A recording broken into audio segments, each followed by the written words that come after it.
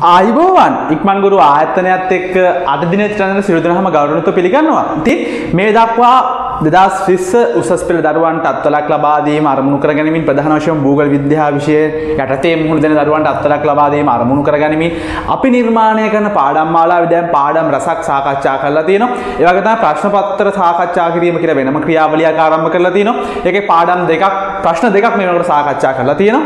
ඉතින් අපි දිගින් දිගටම මේ කටයුතු කිරීමට බලාපොරොත්තු වෙනවා. ඒ වගේම තමයි 2020 ළමයින්ට විතරක් නෙමෙයි අනිත් ළමයින්ටත් භූගෝල විද්‍යාව විෂයෙන් මුහුණ දෙන ඕනෑම දරුවෙක්ට මේක වැදගත් වෙයි කියලා මම හිතනවා.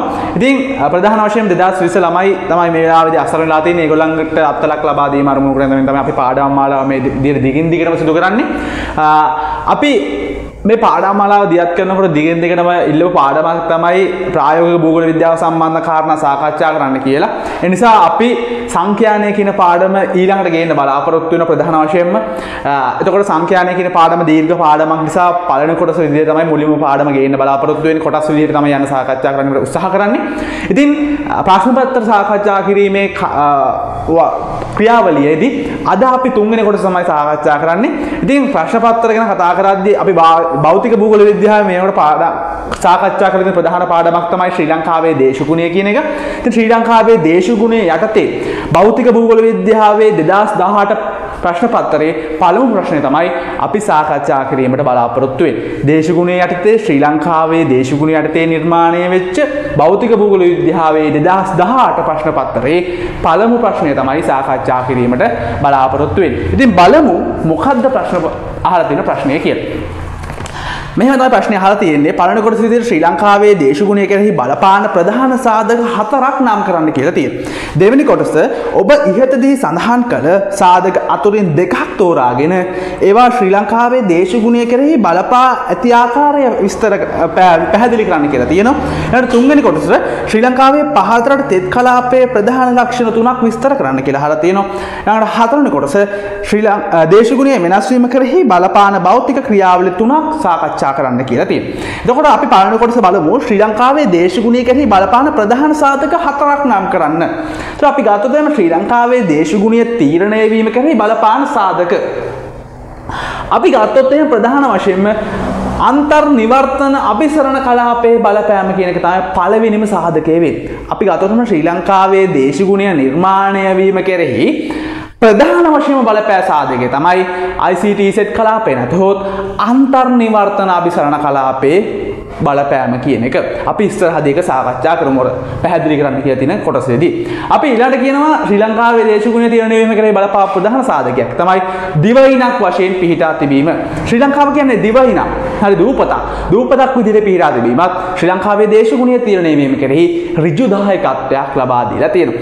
ඒ වගේම තමයි ඉන්දියන් සාගරයේ මධ්‍යගත පිහිටීම. ශ්‍රී ලංකාව ඉන්දියන් සාගරයට මුහුණලා තමයි පිහිටලා තියෙන්නේ. ශ්‍රී ලංකාව කියන දෙවයින ඉන්දියානු සාගරයේ පිහිටා තිබීමත් දේශගුණීය තීරණය වීම කෙරෙහි බලපෑ ප්‍රධාන සාධකයක් වෙනවා. ඒ වගේම තමයි ඉන්දියානු උපමහද්වීපයට ආසන්නයේ පිහිටා තිබීම ඉන්දියාවට ආසන්නයේ ලංකාව පිහිටා තිබීම ඍජු දායකත්වයක් ලබා දීලා තියෙනවා ශ්‍රී ලංකාවේ දේශගුණීය තීරණය වීම කෙරෙහි.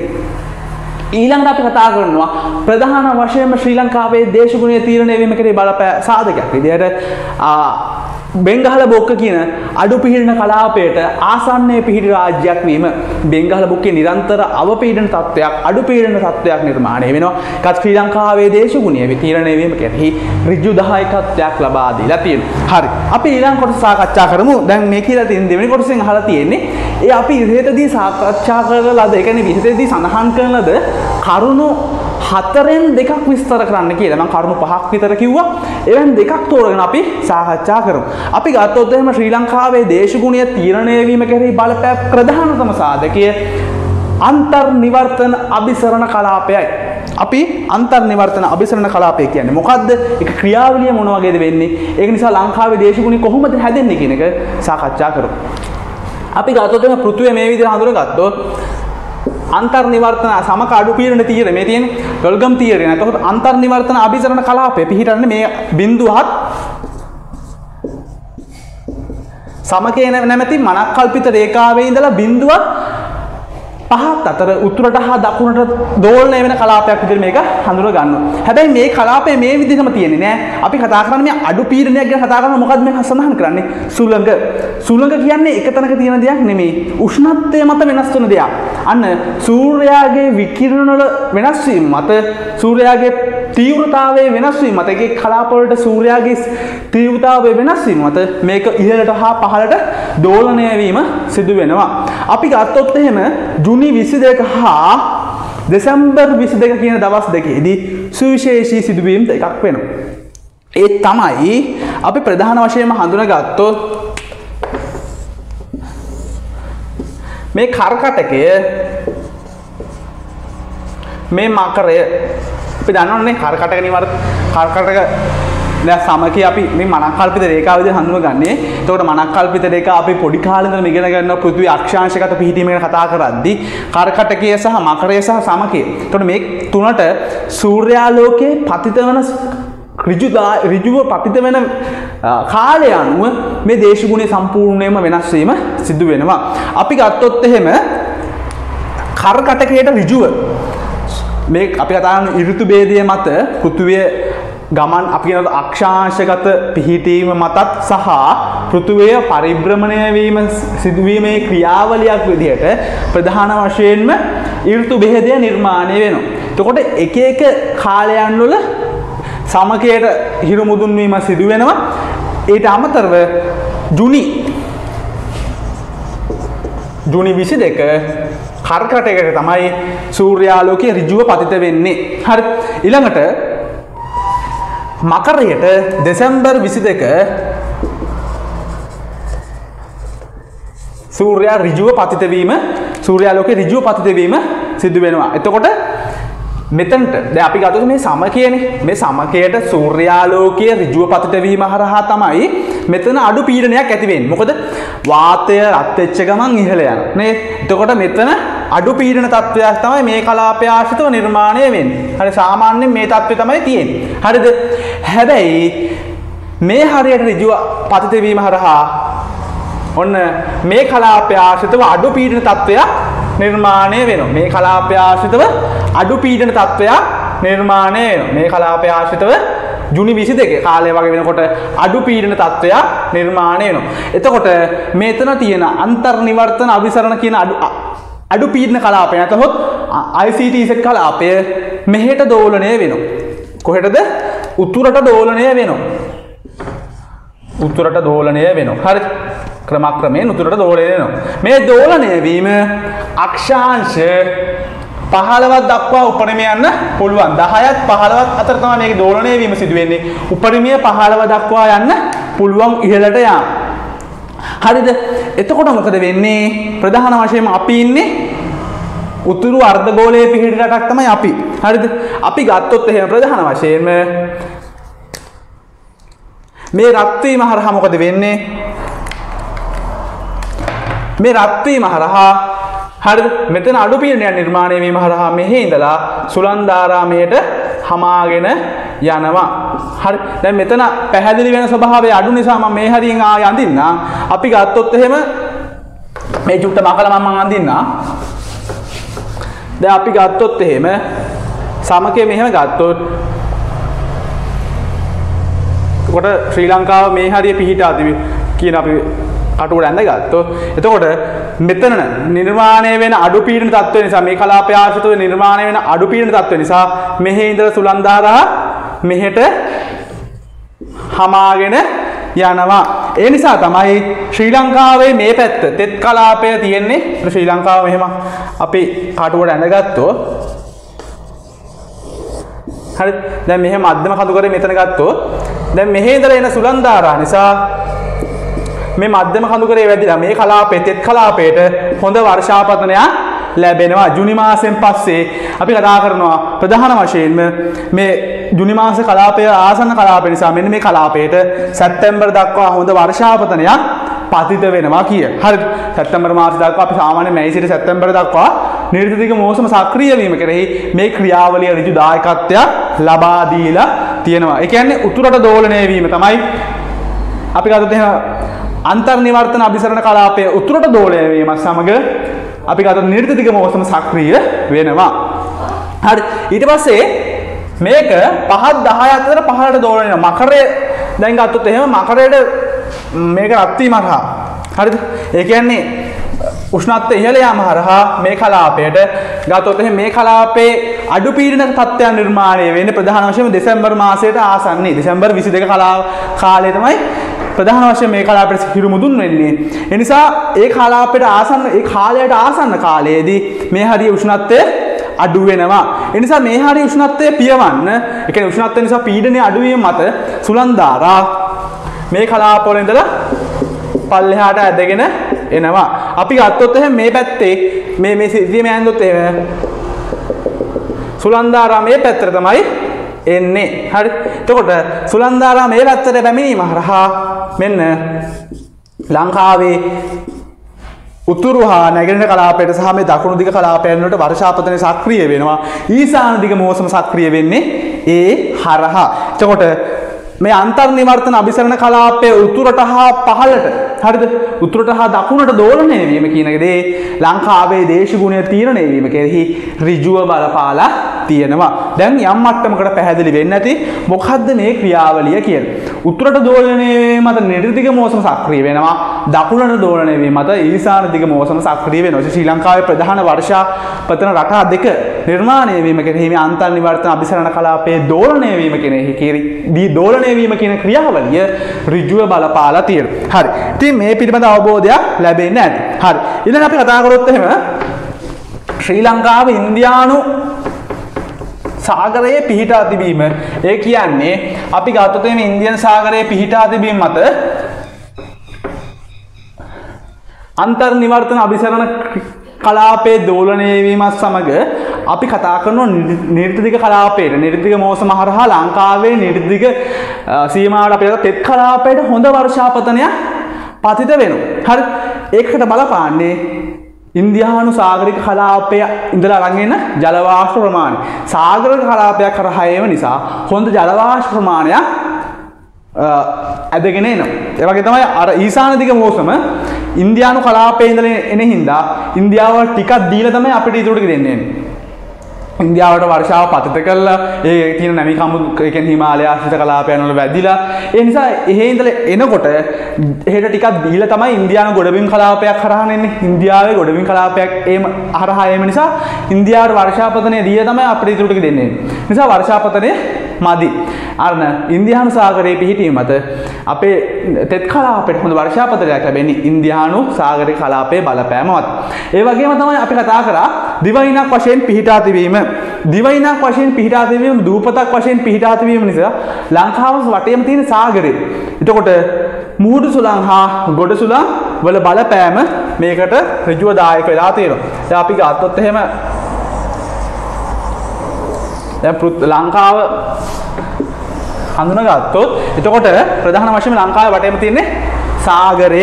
අපි ගත්තොත් එහෙම සාගර කලාපයක් ජලය රත් වුණාට පස්සේ ඉක්මනින් නිවෙන්නේ නැහැ. ඒ නිසා මොකද වෙන්නේ? දැන් මේ කලාපයේ සාගරය තියෙන නිසා රාත්‍රී කාලයේදී සහ දවල් කාලයේදී වෙන්නේ වෙනම ක්‍රියාවලීන් දෙකක්. හරි. දහවල් කාලයේදී පෘථුවිය ඉක්මනින්ම රත් වෙනවා. ලංකාවගෙන් ගොඩබීම ඉක්මනින්ම රත් වෙනවා. හරි. දහවල් කාලයේදී ඉක්මනින්ම ගොඩබීම රත් වෙනවා. හරි. රත් වුණාට පස්සේ මොකද වෙන්නේ? රත් වුණාට ප්‍රධාන වශයෙන් මොකද වෙන්නේ? මෙහෙට සුලන්දාරා හමාගෙන එනවා. හරි. රත් වුණා මෙහෙ අඩු පීඩනයක් නිර්මාණය වෙන්නේ. ඒ නිසා සුලන්දාරා මෙහෙට හමාගෙන එනවා. හරි. ගොඩ මුහුද ඉඳලා හමාගෙන ගොඩබිමට එනවා. රාත්‍රී කාලෙදි වෙන්නේ මේක අනිත් පැත්ත. මේක ඉක්මනින්ම සිසිල් වෙනවා. එතකොට මේකේ තියෙන්නේ වැඩි පීඩන තත්ත්වයක්. මෙහි තියෙන සාගර කලාපය ආශ්‍රිත තියෙන අඩු පීඩන තත්ත්වයක්. ඒ නිසා සාගර කලාපයන් ආශ්‍රිතවට මෙහෙම ඇදිලා සුලන්දාරා ඇදිලා යනවා. හරි. අන්න ඕක තමයි අපි කතා කරන්නේ ප්‍රධාන වශයෙන්ම ගොඩවිම් කලාපය හා මුහුදු කලාපයක බලපෑම ලංකාවට ප්‍රධාන වශයෙන් සිදු වෙන්නේ අපි දිවයිනක් වශයෙන් පිහිටා තිබීම නිසා ගොඩ සුළං සහ මුහුදු සුළං සක්‍රිය වෙලා ලංකාවේ දේශගුණය ඒක හරහා තීරණය වීම සිදු වෙනවා. ඊළඟට අපි කතා කරන ප්‍රධාන වශයෙන්ම අපි ඊළඟට කතා කරනවා ශ්‍රී ලංකාවේ ඊළඟ ප්‍රශ්නට අපි යමු. දැන් කතා කරලා කාරණු දෙකක් තුනක් කතා කරා. ඊළඟ අපි යමු ඊළඟ ප්‍රශ්නෙට. ශ්‍රී ලංකාවේ පහතරට තෙත් කලාප ශ්‍රී ලංකාවේ පහතරට තෙත් කලාපේ ප්‍රධාන ලක්ෂණ තුනක් විස්තර කරන්න. හරි සෙල්සිය සංසක විසි හතක පමණ උෂ්ණත්වයක් පිහිත් තිබෙනවා මේ කලාපේ. සාමාන්‍ය විදිර සෙල්සිය සංසක විසි හතක් ඒවගේ තමයි දෙදස් මිලිමීට දෙදස් පන්සේ ඉක්මන වර්ෂාපතනයක්. ඒවගේම තමයි වර්ෂය පුරාම හොඳ වර්ෂාපතන ඉර්තුවක් වර්තා වර්ෂාපත රටාවක් ක්‍රියාත්මක කලාපයක්. ඉති තෙත් කලාපය හඳුනගන්න පුළුවන්. හරි අන්නවගේ ලක්ෂණ කිහිපයක් අපිට හඳුනගන්න පුළුවන් තෙත් කලාපයට ආවේනික වෙච්ච. හරි ඉතින් ප්‍රධාන වශයෙන්ම වර්ෂාපතනය නිර්තික මෝසම හරහා තමයි පතිත වෙන්නේ. නිර්තික මෝසම හරහා හොඳ වර්ෂාපතනයක් මේ කලාපයට ලැබෙනවා. ඉළං ප්‍රශ්න අපි සාකච්ඡා කරමු. දේශගුණය වෙනස්වීම කරහි බලපාන භෞතික ක්‍රියාවලි තුනා දැන් මේක අහතින් බවමයි දේශගුණය වෙනස්වීම කරෙහි බලපාන භෞතික ක්‍රියාවලි තුනක් සාකච්ඡා කරන්න. ඉලන අපට අපි දැ මේකොට පලන කොටස දෙවනි කොටස තුන්ගෙන කොට සාකච්ඡා කළ අවසානයි. ඊළඟට අපිට විමසන දෙන ප්‍රධාන ප්‍රශ්න තමයි දේශගුණය වෙනස්වීම කෙරෙහි බලපාන භෞතික ක්‍රියාවල තුනක් සාකච්ඡා කරන්න කියන එක. ඉතින් දේශගුණය ශ්‍රී ලංකාවේ දේශගුණය වෙනස්වීම කෙරෙහි ඇතුළු සමස්ත පෘතුවය තුළ දේශගුණය වෙනස්වීම කෙරෙහි බලපාන භෞතික ක්‍රියාවට තුනක් අපි සාකච්ඡා කරමු. අපි ගත්තොත් ප්‍රධාන වශයෙන්ම සාගර මතුපිට උෂ්ණත්වය වෙනස්වීම කියන කාරණ. මේ සාගර මතුපිට උෂ්ණත්වය වෙනස්වීම කියන කාරණයේදී අපි ගතොත් එම වායුගෝලීය හා සාගර මතුපිට තත්ත්වය අතර පරතර අපි ගත්තහෙම මේ දෙක එකට හමුවන ස්ථානයේ. සාගරය හා වායුගෝලීය ස්ථානය හමුවන ස්ථානයේදී වායුගෝලීය උෂ්ණත්වය ජලය විසින් අවශෝෂණය කරගන්න. හරි? ඒවගේම තමයි සූර්යාලෝක රිජු කිරණ හරහත් මේ තත්වය අවසෝරණය කරන තත්ත්වයන් තියෙනවා. හැබැයි රිජු වශයෙන් මේ තත්ත්වය නිසා සාගර මතපිට උෂ්ණත්වය ඉහළ යාම නිසා ප්‍රධාන වශයෙන්ම නිර්මාණය වන ක්‍රියාවලියක් තමයි දියවැල් නිර්මාණය වීම කියන එක. ප්‍රවාහ අපි ගත්තේම උෂ්ණ දියවැල් හා සීත දියවැල් කියන ක්‍රියාවලින් දෙක නිර්මාණය වීම දේශගුණය කියන එක උඩු යටුකර කිරීමට ප්‍රධාන වශයෙන්ම දායක කරන ක්‍රියාවලිය. උදාහරණයක් වශයෙන් ගත්තොත් එහෙම සමක වැඩි උෂ්ණත්වයක් පවතින කලාපයේ ඉඳලා උෂ්ණ දියවැලක් අපි ගෞතම ද්‍රවාසන්න ප්‍රදේශවලට ගමන් කිරීම හරහා ඒ කලාපය සම්පූර්ණයම උෂ්ණත්වයට නතු කරගන්න උෂ්ණත්වය වැඩි වෙන කලාපය බවට පරිවර්තන වෙනවා. ඒ හරහා ග්ලැසියර් දිය වෙනවා. සාගර ජල මට්ටම ඉහළ යාම මේ උෂ්ණ හා සීත දියවැල් ක්‍රියාකාරීත්වය නිසා නිර්මාණය වෙන ප්‍රධාන දෙයක්. නිසා සම්පූර්ණයෙන්ම දේශගුණය වෙනස් වීම කරේ ඒක ඍජු දායකත්වයක් ලබා දීලා තියෙනවා. ඒ වගේ තමයි සූර්ය ලප කියන එක. ඊළඟට අපි කතා කරන ප්‍රධාන දේ තමයි සූර්ය ලප. අපි ගත්තොත් වසර 11කට වඩා සිදුවන ක්‍රියාවලියක් විදිහට ජර්මන් විද්‍යාඥයන් විසින් මේක අර්ථ දක්වනවා. අපි ගත්තොත් ප්‍රධාන වශයෙන්ම පෘථිවියේ පෘථිවියට උෂ්ණත්වය සපයන සූර්යයා තුළ සූර්යාගේ මතුපිට තුළ විශාල පිපුරුම් නිර්මාණය වෙනවා. ඒ පිපුරුම් තුළ ප්‍රධාන වශයෙන්ම විකිරණ ධාරාවන් ඒ පිපුරු මරහා නිර්මාණය වන විකිරණ ධාරාවනල බලපෑම තමයි ශ්‍රී ලං පෘථිවිය ඇතුළු සමස්ත ක්‍රියාදාමයම නිර්මාණය වීම සිදුවේ. ඉතින් සූර්යාලෝකයේ නොමැතිව ග්‍රහයගේ පැවැත්මකුත් නැහැ. ඒ නිසා හැබැයි අධික උෂ්ණත්වයක් පවතින විකිරණ පෘථිවියට આવොත් ඒකත් හොඳ තත්ත්වයකුත් නෙමෙයි. අපි ගත්තොත් එහෙම සූර්යාගේ මතුපිට තියෙන චුම්බක ක්‍රියාවලීන්ගේ බලපෑම තුළ චුම්බකවල සංවහන ධාරාවල බලපෑම මත ප්‍රධාන වශයෙන්ම සූර්ය ලප නිර්මාණය වෙන්න පුළුවන්. ඒ සූර්ය ලප හරහා අධික උෂ්ණත්වයක් තමයි අනිත් කලාපයන් වලට සාපේක්ෂව සූර්ය ලප හරහා අධික උෂ්ණත්වයක් තමයි සංවරණය කරන්නේ. අපි අත ප්‍රධාන වශයෙන්ම මේක පරිප්‍රවාහණය කරන්නේ අධික උෂ්ණත්වයක්. අපි ගත්තොත් එහෙම ප්‍රධාන වශයෙන්ම සෞරග්‍රහ මණ්ඩලය හා පෘථිවිය අතර තියෙන රික්තක කලාපයන් වලත් මේ විකිරණ වල යන්න පුළුවන් තත්ත්වය වෙන විකිරණතාවය තුළ ආලෝකයට ගමන් කිරීමට හැකියාව නිසා රික්තක කලාපයන් වලට ගමන් කිරීම හැකි නිසා මේ ගේන අධික උෂ්ණත්වය නිසා ප්‍රධාන වශයෙන්ම කාන්තාරීකරණය සහිල් කලාපය කරණය අද දේවල් සිදුවෙන්න පුළුවන්. හරි තොර සූර්ය ලප කියනක රිජුව දේශගුණය වෙනස්වීම කෙරෙහි බලපාන සාධකයක් බවට පරිවර්තනයට අතින්. ඊළම සාධක තම යමහල් ක්‍රියාකාරිත්වය. සරලවම යමහලක් කියන අධික උෂ්ණත්වයක් ජනනය කරන ජෙනරේටරයක් වගේ. එතකොට යමහලක් විධාරණය වීම තුළ අධික උෂ්ණත්වයක් වායුගෝල නිදහස් කරන. අපි ගතොත වායුගෝලිය ග්‍රාහය සුළං රටාවතුම සමස්ත සුළං රටාව තීරණයවීම කර උෂ්ණත්වය බලපා.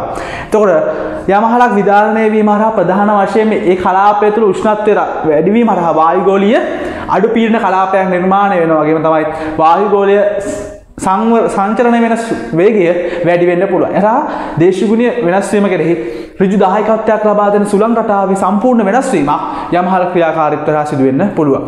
ඒ වගේම තමයි හරිතාගරණ ආචරණ වායු විදිහට සලකන කාබන් ඩයොක්සයිඩ්, සල්ෆර් ඩයොක්සයිඩ් වැනි වායු යම්හල් ක්‍රියාකාරීත්වය හා වායු ගෝලයට නිදහස් වීම හරහා සම්පූර්ණ හරිතාගාර ආචරණය වැනි ක්‍රියාවන් නිර්මාණය වීම හරහා ඒ හරහා සම්පූර්ණයෙන්ම දේශගුණය වෙනස් වීම කෙරෙහි ඒ කාරණා බලපාන්න පුළුවන්. ඉතින් භෞතික කාරණා ඕවා මානුෂික කාරණා අපිට කතා කරන්න පුළුවන්. හැබැයි මේ ප්‍රශ්න තුල අහලා තියෙන භෞතික කාරණා පමණයි. ඉතින් මේ පිළිබඳව අවබෝධයක් ඔයගලන්ට ලැබෙන්නේ නැති. ඉතින් අදට මෙතනින් නවතිනවා ප්‍රධාන වශයෙන්ම ප්‍රායෝගික භූගෝල විද්‍යාවේ ඔබ ඇසූ ප්‍රශ්න සාකච්ඡා කිරීමේ අරමුණින් ඔයගලන්ගේ මතයන් වලට ඉඩ දීමේ අරමුණින් අද නතර වෙනවා. බොහොමත්ම ස්තුතියි.